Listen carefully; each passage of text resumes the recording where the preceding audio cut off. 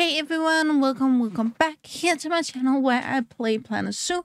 My name is Nisse and today we are looking at the Demoiselle crane. I probably didn't pronounce that right, but it is a mod here for Planet Zoo made by Bongo Hardwood. And uh, yeah, let, let's let's just get in.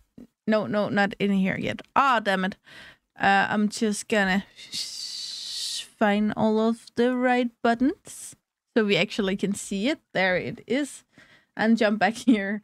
So it of course have this quite unique look to it with these longer, almost hair-like feathers uh, going from the eye and downwards behind the uh, neck, and in uh, on the chest piece they're also longer, so they actually hang a little bit from the belly.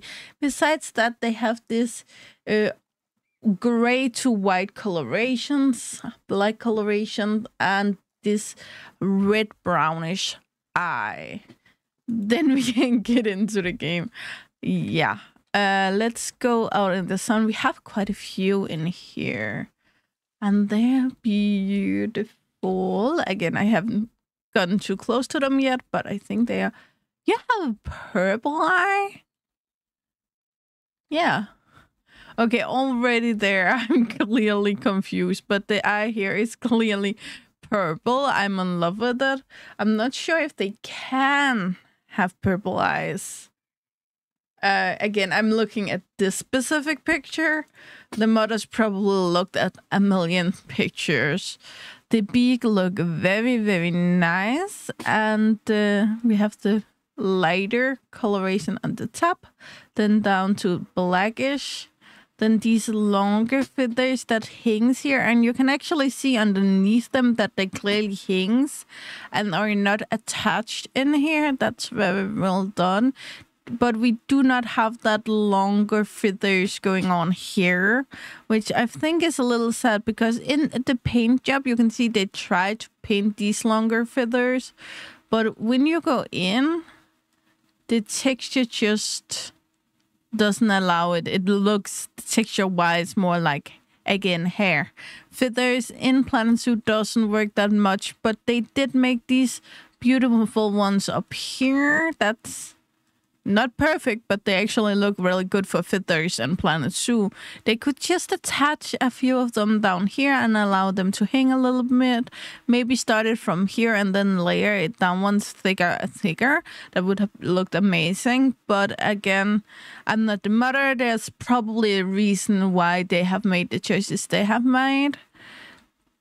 They did not fix the back um, feather. And these feathers here comes from either the crane or the flamingo from the game. The thing is, Frontier messed up and have this specific feather not attached. And that's something you can see if the modders noticed and fixed or not. And in this case, it's not fixed. You can also see here, there's quite a few of them. What they did do, however, was uh, is that they have thickened uh, the feather texture up here. So it's not as noticeable as it is for, for instance, the red crown crane from the game, where you have a really big gap here because it's made more fluffy, than the gap is smaller and not that easy to see. But since I know it's there, I'm looking for it. We have the heat here. The texture is the standard texture for all long-legged birds in the game. And we have the small claws in here. I do like the paintwork though. I'm not even sure if we can see the legs here. No, we cannot, but it's it does look good. Uh, anyway, oh, I forgot we normally do Zoopedia first, but I guess we're gonna do it here. It is at least concerned animals with 230,261,000 individuals in the wild.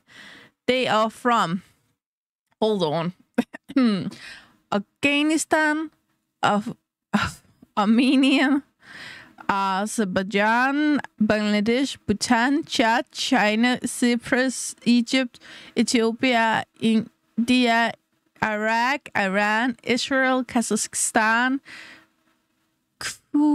Kyrgyzstan. That wasn't right. I'm so sorry. I don't think I ever heard that before. Lebanon, Moldova, Mongolia, Myanmar, Namibia, Nepal, Nigeria, Oman, Pakistan, Russia, Saudi Arabia, Slovakia, South Sudan, Sudan, Tajikistan, Turkey, Turkmenistan, Ukraine, Uzbekistan, and Yemen. Oi, that was a lot.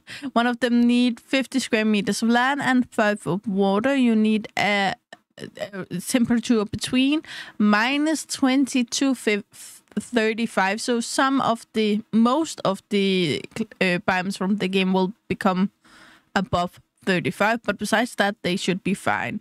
Create one fence above a meter and a half. Group sizes from 4 to 80, but that's half of each.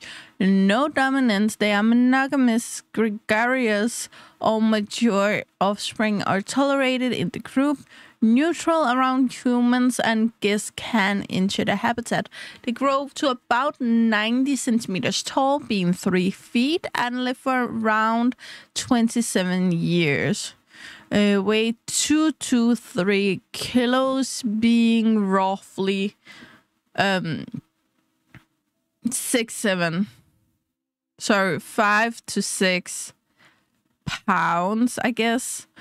Um, but the reaching maturity at age four or between four and eight years. That's interesting. Uh, can reproduce till they die, get between one and three offspring a year, and be pregnant for a single month.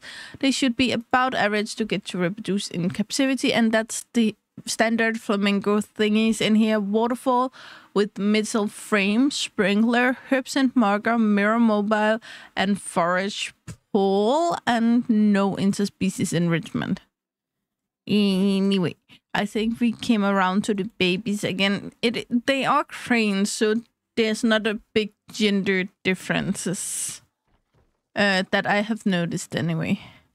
The baby here is very cute and look like a lot of the other ones we have for the baby cranes. It have more yellow uh, toned up here and then a more cold, darker grayish um, coloration down here. Um, again, babies for a lot of birds are very boring color wise, but it have a little bit of color to it. And the beak also have a few colors. And actually, the colorations here, mix of colorations, looks very beautiful. So, yeah. Um, yeah, that's actually all. Sorry, I'm confused. I'm trying to make these videos a little bit shorter um, but still get around to say all I want to say. So yeah, they are beautiful, and again, they do like the water.